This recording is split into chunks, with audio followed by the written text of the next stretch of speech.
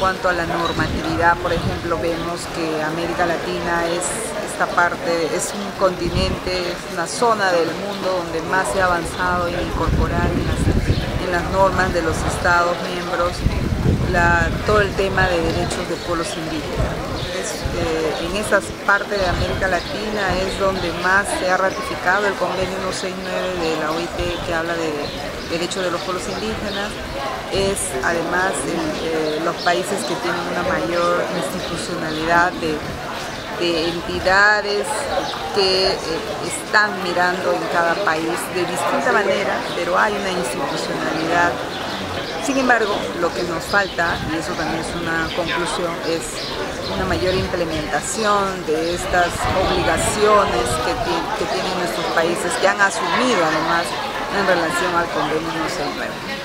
Creo que hemos coincidido bastante con los planteamientos de este espacio en el sentido de decir que la, presencia y la participación de los pueblos indígenas debe ser en toda la institucionalidad del Estado.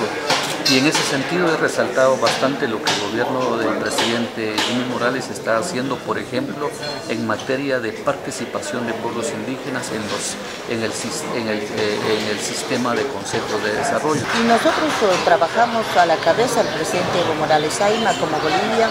Hay esos avances en los pueblos indígenas, no solo en los pueblos indígenas, en todo el pueblo boliviano, porque sabemos, tenemos necesidad indígena no indígena. Eso también hemos debatido acá porque muchos indígenas a veces volvemos a ser urbanos, entonces todo aquello hay un debate de los pueblos indígenas originarios que nosotros, pero sí hay un tema fundamental.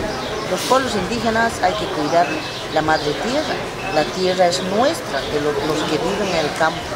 Los viven los pueblos indígenas originarios trabajan en la tierra, mantienen a la población de todos los países, en los países que viven, porque ¿quién produce para alimentar la soberanía alimentaria, para que uno se coma? Es en la tierra.